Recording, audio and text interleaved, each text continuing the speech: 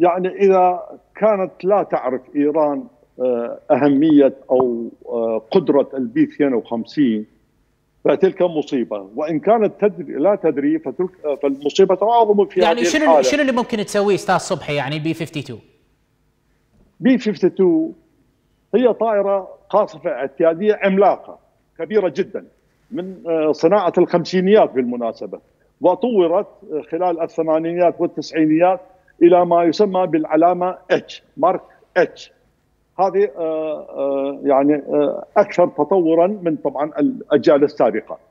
هذه الطائرة تحمل 40 طن من القنابل. 40 طن من القنابل.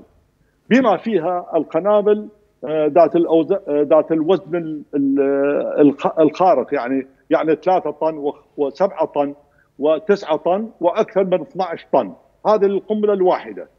وهي مخترقة. هذه من جهة لا يعني لا, أدخل في التفاصيل. طيب. ولكن الطائرة الواحدة البي 52 تحمل بدل القنابل التي صارت من الموضه العتيقه إن صح التعبير. 32 صاروخ كروز مقذوفة كروز كروز آه، آه، مداها من 800 كيلومتر بالنسبة للأصغر إلى 2500 كيلومتر بالنسبة للاضخم 32 صاروخ كروز أي بمعنى أن آه، الطائرة هذه يمكن أن تقذف بهذه المقذوفات إلى بعد 2500 كيلومتر. أي عبر الأرض الإيرانية نحو نحو أفغانستان من من أجواء المملكة العربية السعودية أو قطر أو الخليج العربي. إلى آه، تلك المنطقة التي سميتها جميل لكن لكن يعني أستاذ صبحي جميل. يعني هذا بهذا الوصف اللي حضرتك الآن تحكي به هل هذا معناته إنه البي 52 ممكن بطلعة واحدة على إيران ممكن أن تسقط النظام كله؟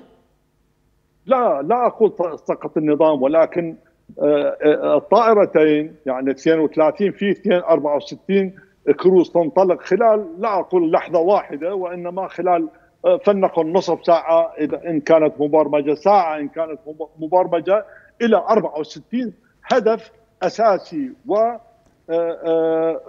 استراتيجي في الدولة الإيرانية. ونحن قد ذقنا هذا الأمر مع الأسف طبعا في عام 1991 وفي عام 1900 آه، في 2003 آه، يعني كل الرادارات وكل المنشآت وكل منظومات الدفاع الجوي وكل مواقع قيادات الدفاع الجوي وكل القواعد الجوية أخمدت وأوقفت عن العمل في ليلة واحدة من قبل الطائرات الأمريكية والبريطانية وخصوصا الأمريكية أه. واقصد وأقصد فيما أقصد الطائر المقذوفات الكروز التي لا يمكن لحد الآن في تصوري أن أن تعترض يعني لا لا لا يوجد هناك سلاح لاعتراض الكروز لأنها تحلق طيلة هذه المديات بارتفاع يقل أو يدنى عن 60 متر. فإذا لا تكتشف بالرادارات